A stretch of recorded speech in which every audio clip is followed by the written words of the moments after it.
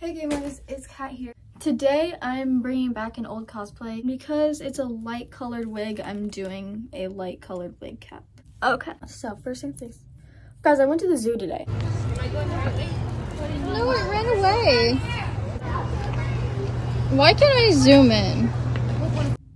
And I saw prairie dogs. These contacts, I've never worn them. I think for my eyebrows, I'm gonna do a light blue, gray color. Okay, this is scary. Why does it look kind of gold today? Okay, I think these contacts will be really good for my Ryuko cosplay from Kill La Kill.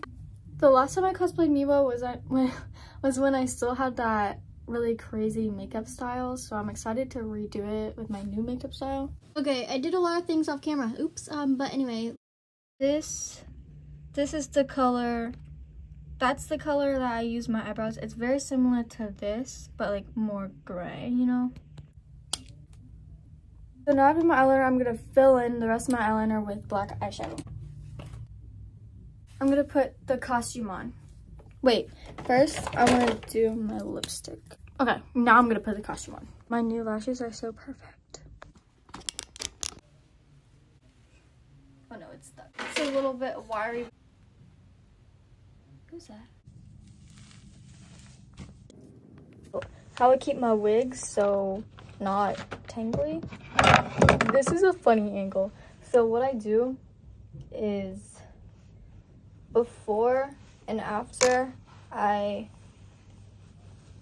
put it, like when before and after I use it, I brush it, so. And then I grab it like that.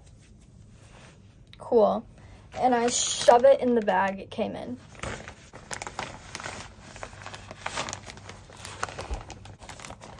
And there you go. I love that this is a pre-tie tie because I can't tie a tie. Got the famous Mickey shirt that I've worn for like, I don't know, I've just, I've had it forever. Don't forget to subscribe. Goodbye, guys. Oh my gosh, I didn't even show you my contacts. Look at them. They're cool, right? Okay, bye, guys.